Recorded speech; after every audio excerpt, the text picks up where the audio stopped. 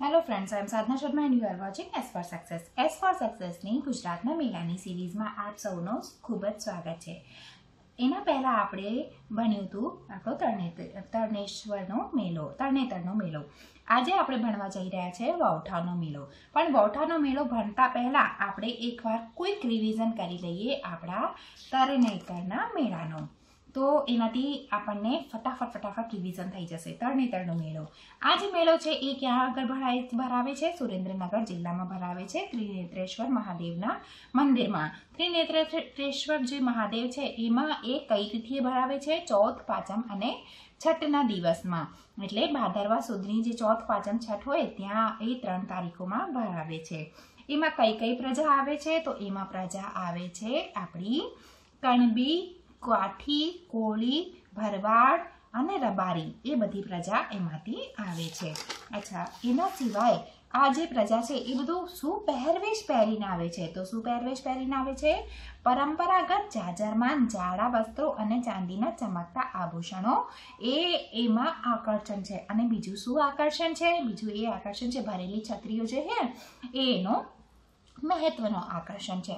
તરણેતરનો મેળો જ્યાં ભરાય છે ત્યાં એ જે ત્રિનેત્રેશ્વર મહાદેવનું જે મંદિર છે, એને કોને બનાવ્યું? લખપતના જે રાજવી છે કરણસિંહજીએ, એમની પુત્રી કરણબાની યાદમાં ઈસવીસન ઓગણીસો બેમાં આ આ જે મંદિર છે, ત્રિનેત્રેશ્વર મહાદેવનો, એ મંદિર બંધાયેલો છે. અને સૌથી ઇમ્પોર્ટન્ટ શું છે આ, આજના વિડીયોનો? કે આ જે સ્થળ છે, એ સ્થળને રક્ષિત સ્થળ જાહેર કરવામાં આવ્યું છે.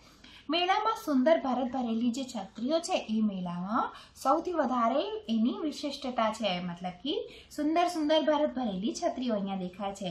અને રાજ્ય સરકાર દ્વારા અહીંયા ઓલિમ્પિક ગ્રામીણ ઓલિમ્પિકનું પણ આયોજન કરવામાં આવે છે. ક્યાં આગળ? સુરેન્દ્રનગર જિલ્લામાં ત્રિનેત્રેશ્વર ગામે. તો આજે આપણો આજનો જે મેળો છે એના વિષયમાં આપણે બધું જાણી ગયા છીએ. હવે આપણે આપણા ટોપિક ઉપર આવીએ. આજનો મેળો કયો છે? બીજું વોઠાણનો મેળો. વોઠાણનો જે મેળો છે એ કયા નામે ઓળખાય છે? તમને બધાને ખબર હશે કે એ જે છે એ આપણા ગધેડાઓનો મેળો અને જે પશુ છે એનો મેળો તરીકે ઓળખાય છે. હજી સુધી અગર તમે ચેનલને સબસ્ક્રાઈબ નહીં કરી હોય તો સૌથી પહેલાં ચેનલને સબસ્ક્રાઈબ કરો જેનાથી બધી જે નોટિફિકેશન છે એ તમને સમય સમય ઉપર મળતી રહે. તો ચલો આજે આપણું આજનું પોઈન્ટ કરીએ. વોઠા અમદાવાદ જિલ્લામાં ધોળકા તાલુકા તથા ખેડા જિલ્લાના માતર તાલુકાની સરહદે આવેલો છે. કયા કયા તાલુકાઓની? એક તો ધોળકા તાલુકા અને બીજું કયો? ખેડા જિલ્લાના માતર તાલુકા. મતલબ અમદાવાદ જિલ્લાનેમાં સરહદ મળે છે અને ખેડા જિલ્લામાં સરહદ મળે છે. તાલુકા કયા કયા? ધોળકા તાલુકા અને બીજા કયા? માતર તાલુકા. આ બંનેની સરહદે આવેલા છે. વોઠા સાત સંગમ એટલે કે સાત નદીઓના સંગમની ભૂમિ છે. કઈ નદીઓ? સાત નદીઓ જે છે એનો સંગમની એ ભૂમિ છે. અચ્છા, હવે એ નદીઓ કઈ કઈ છે? સાબરમતી, શેરડી, હાથમતી વાત્રાક, ખારી, મેશો અને માઝમ આમ કરીને સાત નદીઓનો સંગમ જ્યાં હોય ત્યાં વોઠાનો મેળો ભરાવે છે. હવે આ સાતે સાત નદીઓ આમ આપણા માટે ખૂબ જ અગત્યની નદીઓ છે. પણ આપણે એને યાદ કેવી રીતે રાખીશું? સાવ ખાસ સાવ ખારા હાથ મેં માઝમ સાવ ખારા હાથમાં માઝમ હે ને એવી રીતે આપણે યાદ રાખીશું સાવ ખારા હાથમાં માઝમ તો સાવતી શું આવશે? આપણું સાબરમતી. હે ને અને વ. સાથી આપણે સાબરમતી. વતી શું આવ્યું? આપણે વાત્રક તો બે નદીઓ યાદ થઈ ગઈ. સાવથી ખારા એટલે ખારી નદી. પછી ખાશ.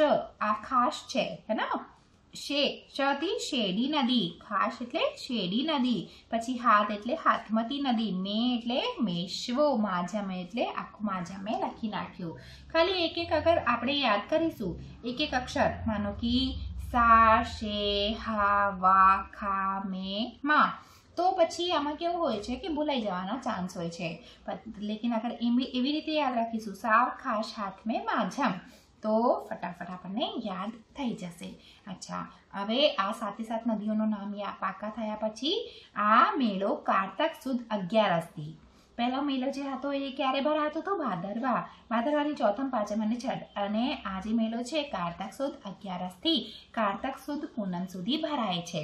બરાબર? અગિયારસથી લઈને પૂનમ સુધીનો એ મેલો ભરાય છે. પરંતુ લગભગ એક મહિના સુધી લોકો અહીં આવ જાવ કરે છે. મતલબ જે લોકો એ ઇન બિટવીન નહીં આવી શકતા એ લોકો આજુબાજુના સમયમાં આવી જાય છે, પણ બધાએ આવી પણ જાય છે. હવે, આ મેળાની ખાસિયત એ છે. શું ખાસિયત છે આ મેળાની? આ મેળાની ખાસિયત એ છે કે અહીંયા ગધેડાઓ તથા ઊંટને શણગારીને ખરીદ વેચાણ માટે લાવવામાં આવે છે. તેથી આ એક પશુ મેળો તરીકે પ્રખ્યાત છે.